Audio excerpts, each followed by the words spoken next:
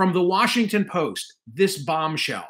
Classified documents relating to nuclear weapons were among the items FBI agents sought in a search of former President Trump's Florida residence on Monday, according to people familiar with the investigation. What exactly does that mean?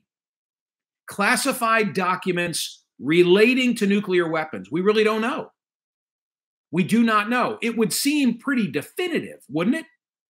And if the guy had nuclear secrets kept in boxes. You know, they call them banker boxes. It's funny. I was just at uh, Staples this week and I had to buy a couple of banker boxes, those sort of legalese uh, cardboard boxes that that that take the long form, the legal files.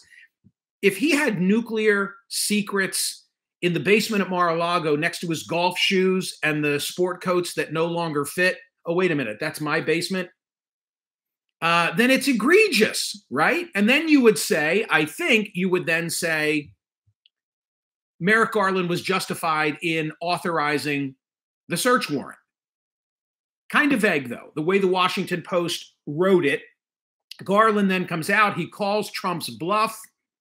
Justice files a motion to unseal the warrant and the inventory, not the affidavit. I've gone through this several times. I think POTUS listeners get by now the difference between an affidavit that gets filed, provided to the magistrate judge from whom uh, they are seeking the search warrant. That's different from the warrant and the inventory. But here's what you most need to know, and I've said this so many times, but I'll say it again Donald Trump has been in possession of the warrant and the inventory since the raid took place. Nothing stops him from releasing it on his own.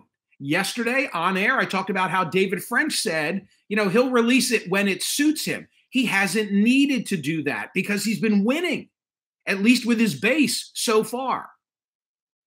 So Garland calls his bluff. Trump last night says, okay, uh, well, actually, I'll read to you what he posted to Truth Social. Not only will I not oppose the release of documents related to the un American, unwarranted, unnecessary raid and break in of my home in Palm Beach, Florida, Mar a Lago, I'm going a step further by encouraging the immediate release of these documents, even though they've been drawn up by radical left Democrats and possible future political opponents who had a strong and powerful vested interest in attacking me, much as they have done for the last six years.